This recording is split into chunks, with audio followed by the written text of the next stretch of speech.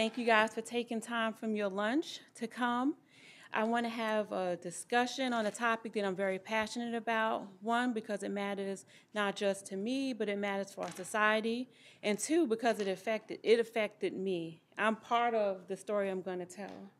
So today we're going to talk about the double bind, women of color in STEM, and we're going to talk about the social, the economic, and the ethical impacts of those things.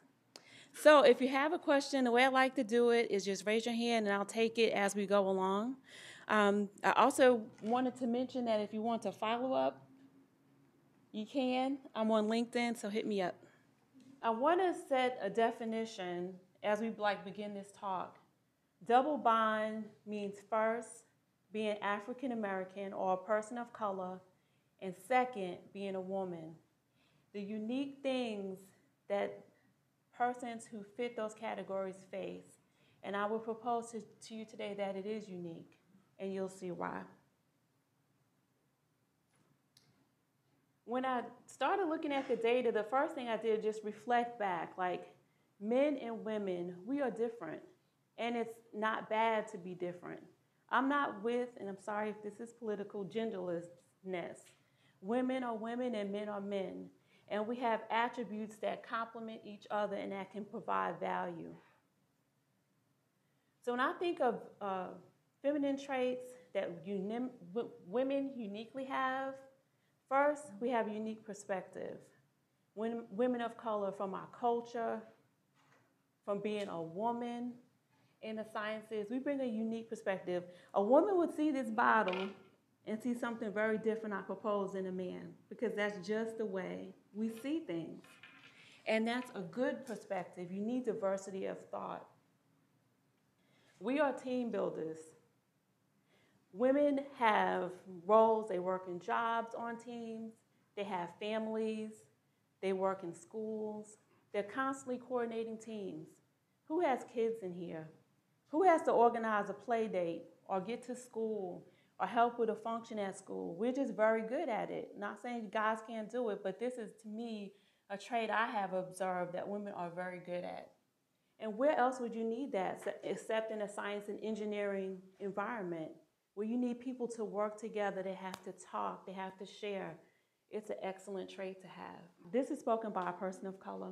I emphasize with managers who don't consider racial disparity to be an issue worth resolving. Those who do not experience its effects firsthand will find it difficult to give it credence. But to put oneself in the mindset of a minority employee isn't much of a stretch. Just imagine, imagine for a moment being the only man in a bachelorette party. And we know what they say at bachelor, bachelorette parties. Or the only woman at a packed nightclub. There's nothing intrinsically wrong with it, but it's an unnerving feeling for that person. After a while, you kind of withdraw into yourself, you, know, you kind of speak less. You need backup. You need people who look like you. Silicon Valley, RTP, New York, Austin, technolo- places of technology focus? Why aren't there more people at these companies? This movie, and I'm sure you all saw Hidden Figures, it was pretty powerful. This happened in the 60s, and it was it's really ironic because the accomplishment of the whole United States rested on women who could provide backup to these astronauts. And if you've seen the movie, then you know the circumstances with which they worked. And when you think about that, this is not like fictional, this is reality. This is what really happened. We were willing to risk our ability to be successful in the space program. What if all these women quit? Um, this, the character that she played, you know, she was the person who was able to set up the IBM mainframe. They had sent in specialists, and anybody who's ever worked for IBM, you know, that, that was, the mainframe is a very highly proprietary system. It takes a very special skill set. And even the person that they, the people that they sent had a challenge. But what if she wasn't there? What if you erased them? Then what would be the output? So I say that people need to see people that look like them. They need to be comfortable and see people look like them who are in a position of leadership and that can provide opportunity. Successful people are engineers. These are, these are semi quotes, not exactly. Brain size and how you use it, that's what matters. Let's just face it, this is a white and Asian world. And the one that stuck out to me most was get a white guy to be your front. Berkeley and Stanford are really nearby. And, uh, and when, when, the, when my bio was announced, it you know, mentioned that I just finished a program at UT Austin in technology commercialization. I've always worked in technology and I could always do like patents and ideas like that, but I did that degree and pay. The only degree I paid for. I did that one. The other things were on scholarship. And that's my, I said to my husband, I'm, that's my new car because I had to pay for that. But the one thing I wanted to learn was what is the process, the entrepreneurial process. And when the guy said in the film, um, we've been here a week. It's a nine-week program. They hadn't pitched. They hadn't shown a demo. That's bad because the whole reason they were brought together was to be able to be more active in the space. So that really hit home.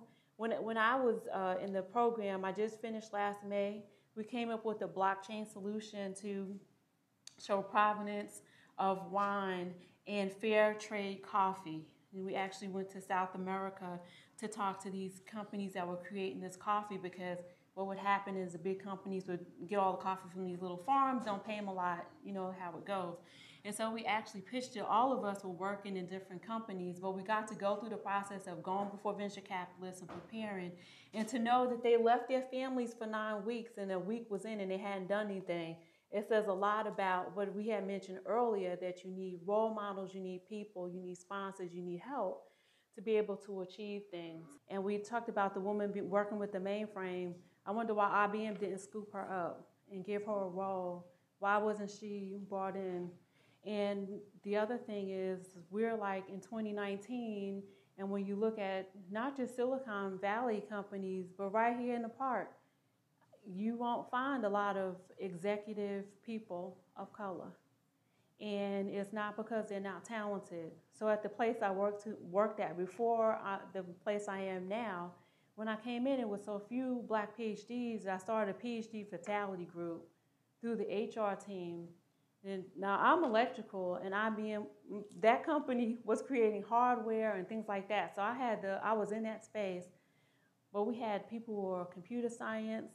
Not one person of one person of that team uh, became went in management, and today no one is still with the company. They're all the different companies. So that is to say, if they didn't see value in having six when there wasn't many in the nation and push those and pipeline them, then that says what's really important. And that was my second point. In conclusion, I wanted to say I, this is not just this is not a woman's issue, right?